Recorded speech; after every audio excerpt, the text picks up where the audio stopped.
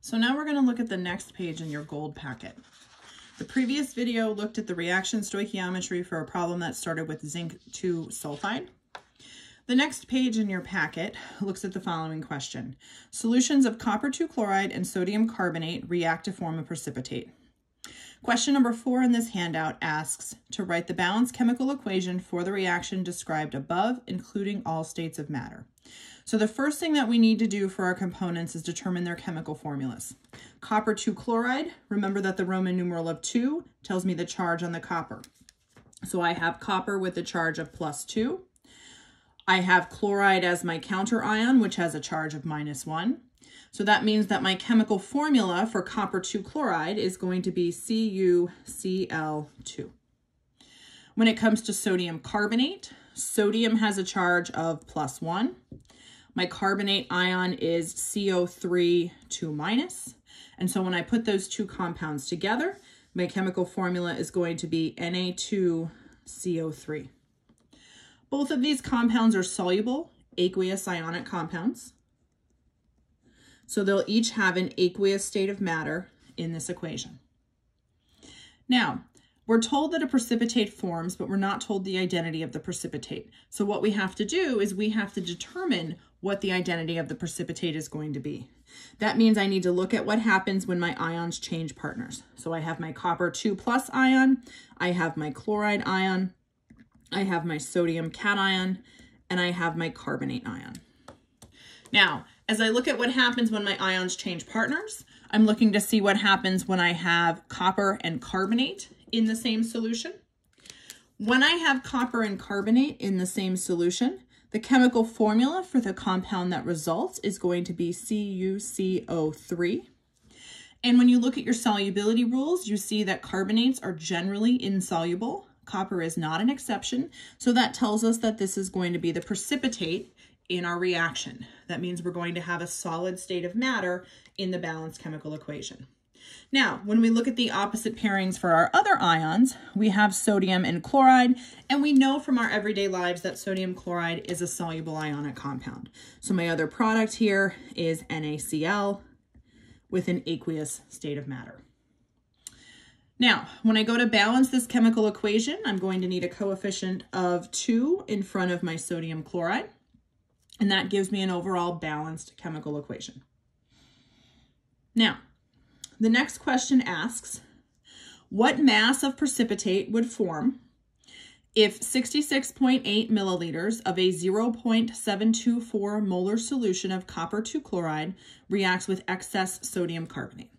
So when we look at the details in this problem, we're told that we have 66.8 milliliters of a 0.724 molar solution of copper 2 chloride.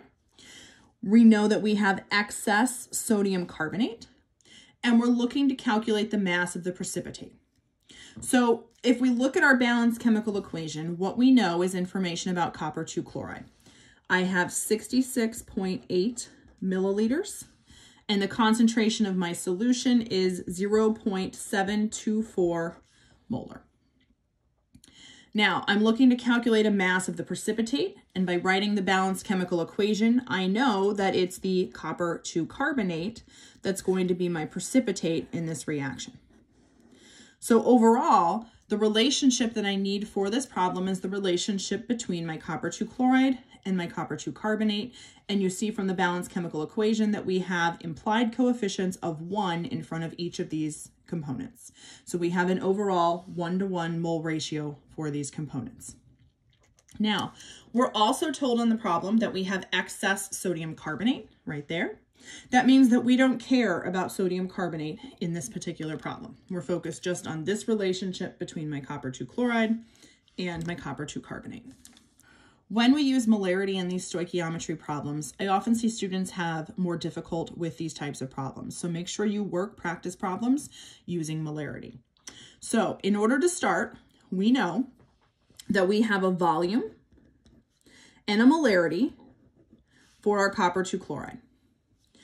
We're going to need to relate this to moles of copper 2 chloride from there, we can get to moles of copper 2 carbonate. And finally, we can calculate the mass of my precipitate, so my copper 2 carbonate. Okay, so rather than starting with grams like we did in the previous example, we're starting with a volume and a molarity, and we need to use that information to get to moles. So I know that molarity is equal to my moles of solute divided by my liters of solution. Okay. And if you look at the information that was given to us in the problem, we have milliliters of solution and the molarity, and we need to use that information to get to moles. So you can plug right into this equation and solve, or you can set it up as dimensional analysis. Either way is fine. Either way should give you the same answer. If we set it up with dimensional analysis, I'm going to take my 0.0668 liters.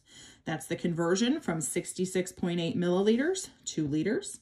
Make sure you write it out if you have any difficulty getting to that in your head or by moving the decimal point. This has units of liters. So my molarity of 0.724 moles of my copper 2 chloride divided by my one liter of solution allows me to cancel my units of liters and leaves me with moles of copper 2 chloride. So my liters cancel. I'm left with moles of copper 2 chloride, and that's exactly what I need right here in the problem. When you do this calculation, you should get 0.0484 moles of copper 2 chloride. Okay, 0.0484 moles of copper 2 chloride. So that puts us here in our strategy. Now we can convert now we can convert now we can convert from moles of copper 2 chloride to moles of copper 2 carbonate using the stoichiometry or the coefficients from the balanced chemical equation. So I'm going to take my 0.0484 moles of copper 2 chloride times the mole ratio. So I need moles of copper 2 chloride in the denominator. I need moles of copper 2 carbonate in the numerator. And again, my coefficients from the balanced chemical equation give me that one-to-one -one mole ratio. So that in this reaction, for every mole of copper 2 chloride that I start with, I'm going to get one mole of copper 2 carbonate at the end. So that's going to give me 0.0484 moles of copper 2 carbonate. Okay, finally, the question asks you about the mass of the precipitate. So the last thing we need to do is convert from our moles of copper 2 carbonate to grams. In order to do that, we need to do the calculation of the molar mass of copper 2 carbonate. When you do that molar mass calculation, you will find that its molar mass is 123.56 grams. So now when we take our 0.0484 moles of copper 2 carbonate times the fact that one mole of copper 2 carbonate has a mass of 123.56 grams. And when we do the final conversion, we find that our final answer should be 5.98 grams of copper 2 carbonate.